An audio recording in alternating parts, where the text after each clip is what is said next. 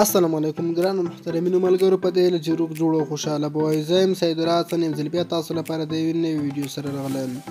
ملګرو په دې ویډیو کې زه تاسو ته درښایم چې موږ څنګه کولی شو چې د فیسبوک غیر فعال ملګري ختم کړو ملګرو ډېره اسانه زبردست طریقه درښایم چې تاسو بالکل کولی شئ په یوه دقیقه کې تر پنځوسو پورې هم غیر فعال ملګري ختم کړئ نو ملګرو که تاسو چېرته په آیډي یو څه پخوانۍ وي یعنې دوه درې کاله پخوانۍ وي د فیسبوک آیډي مو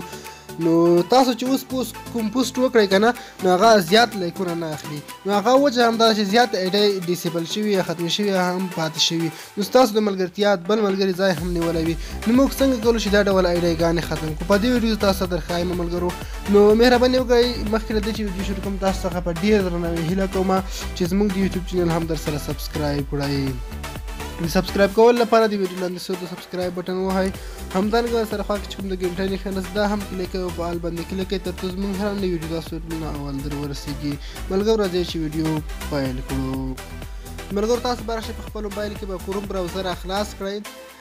را به شي کروم براوزر ته ملګر خو ټول اول باید تاسو خپل کروم براوزر کې خپل فیسبوک آی ډي لاګین کړی وي خپل فیسبوک آی ډي باید په دلته موجوده وي نو زه راځم ملګرو تاسو به دلته راشئ په دې درې خطونو به کلیک کوئ او دلته چې کله راغلی نو تاسو به خپل پروفایل ته راشئ زما د ملګري ایډي د زما خپل نه ده ما خپل ایډي مخ وخت ایډیټ کړی دا غیر فعال ملګري مې تر لري کړی دلته ملګرو تاسو راشئ په اکټیویټي لاګین د اکټیویټي لاګین په دې اپشن به تاسو کلیک کړئ ملګرو کله مو چې دلته کلیک اوس به تاسو راشئ دلته د سر ته ښکاره فلټر په دې فلټر باندې بیا کلیک کړئ کله مو چې دلته کلیک کړ ملګرو اوس به تاسو لږ لاندې راشئ لاندې به شئ اډیټ فرینډز په دې اپشن به تاسو کلیک کړئ کله مو چې دلته کلیک کړئ ملګرو اوس تاسو ملګرو دا ډول صفحه راځي ملګرو دا اوس تاسو د هغه ملګري ښایي چې تاسو سره کله ملګري شي مثلا دا زموږ د نن ورځې ټولې ملګري یعنې نن ورځې زموږ سره ملګري شي هغه ملګري دي عمل ګرګلر تاسو لګ لاندې راشئ مثلا دلته تاسو ته ښایي یو سټر یې د تیرې ورځې ملګری دي اوس ملګرو مونږ ایډي په 2014 کال کې جوړه کړې ده کنه نو موږ ته اوس مثلا 2014 کال خلاصوم نو ملګرو اوس تاسو د ښه پایا د ستخره منم چې هغه ملګری چې موږ سره په لومړي کال ملګری او هغه ملګری زیاتره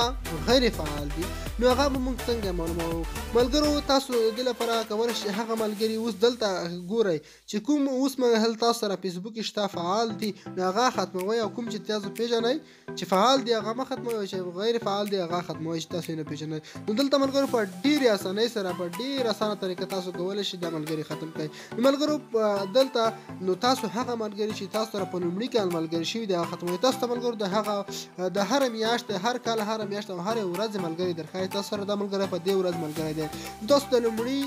کال یعنی په هغه لومړي کال تاسو ایډي ورکړئ دا ختموي نور ما ختموي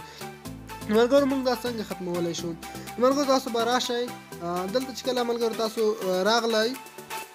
ملګرو ته د پلیس کې کوچنی نښه ښکار تاسو د یوې خوا کې وینئ ملګرو دلته کوچنی نښه ښکار کله چې تاسو په دې کلیک کړئ دلته ان فرینډ اپشن تاسو ته راځي که تاسو په دې ان فرینډ باندې کلیک کړئ ملګرو دا ملګری ختم شو بیا هم بل هم ختموم په دې طریقه تاسو ملګرو بل هم په دې طریقه ختمول شي په ډېره اسانه توګه یوازې دلته په دې خوا کې کوچنۍ نښه باندې کلیک کوئ او بل ختموئ زه مثلا بل ملګری ختموم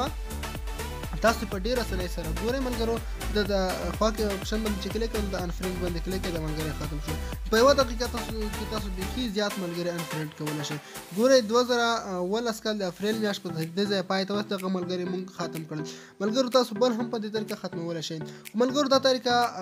دلته ملګرو یوه خبره دا ده چې تاسو به اوس وایئ چې مونږ خو مونږ ته خدا نه ښایي چې آیا فعال ملګری کوم دی غیر فعال کوم دی خو ملګرو په دې طریقه ما زیاته هڅه کړې ده خو دا ډول طریقه ما تر اوسه نه ده پیدا کړې خو دا تر تر ټولو اسانه طریقه ده ملګرو د دې پرته بله ډېره اسانه طریقه نشته تاسو غیر فعال ملګري ختم کړئ نو ملګرو دلته تاسو راځئ کوم ملګري چې پېژنئ هغه پرېږدئ او کوم چې نه پېژنئ هغه ختموئ خو دلته ملګر تاسو چې کله په فیسبوک کې د یو چا پروفایل ګورئ دغه ملګری ختموي نو هغه ډیر وخت غواړي نو دا تر ټولو اسانه طریقه ده ملګر که چیرې دا ویډیو تاسو خوښ شي ویډیو لایک کړئ او زموږ د یوټیوب چینل هم درسره سبسکرایب کړئ مننه ښه وخت او ښې شیبې ولرئ